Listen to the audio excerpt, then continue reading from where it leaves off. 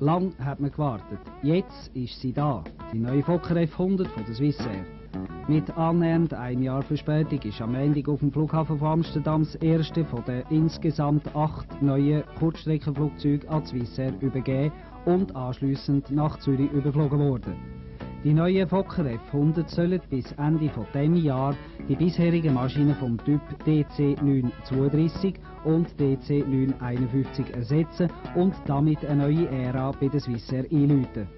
Fokker F100 gilt nämlich als das modernste Flugzeug in seiner Klasse und das sowohl in wirtschaftlicher, technischer wie auch umweltfreundlicher Hinsicht.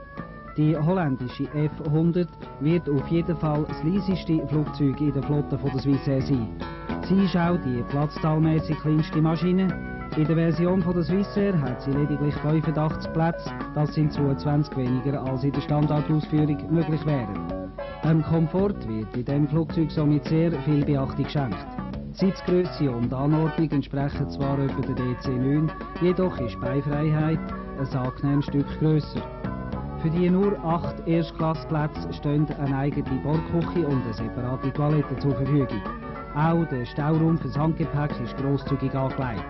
Das Cockpit von der Fokker F100 wirkt übersichtlich und ist funktionell nach der neuesten Erkenntnis von der Luftfahrttechnik ausgerüstet.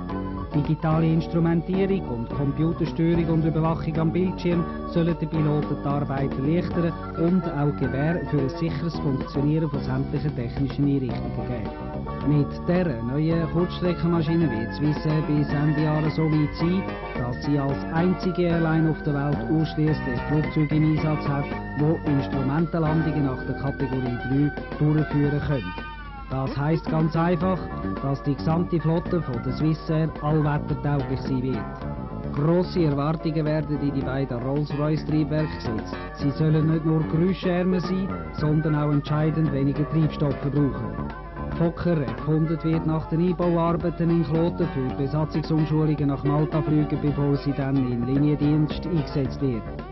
Das Flugzeug ist für die weniger verkehrsintensiven Strecken in Europa und für Flüge nach Nordafrika vorgesehen, kann aber in verkehrsarmen Zeiten auch auf Hauptstrecken eingesetzt werden. Ein Flugzeug kostet ca. 38 Millionen Franken je nach Kurs. Und bei dieser am Ende in Kloten gelandeten Maschine handelt es sich um die erste Kundenmaschine, die ausgeliefert worden ist. Bei der Swissair hat man die massiv verspätete Ankunft von der ersten Fokker F100 angemessen gefeiert und im holländischen Lieferwerk hat man sicher aufgeschnauft, dass das erste Flugzeug nun endlich hat übergeben werden können. Ist doch eine Konventionalstrafe von über 10 Millionen für die Verspätung fällig. Man kann nur hoffen, dass die restlichen sieben Maschinen noch rechtzeitig ausgeliefert werden können, damit der Flugplan von 1989 mit allen acht Fokker F100 gestaltet werden kann.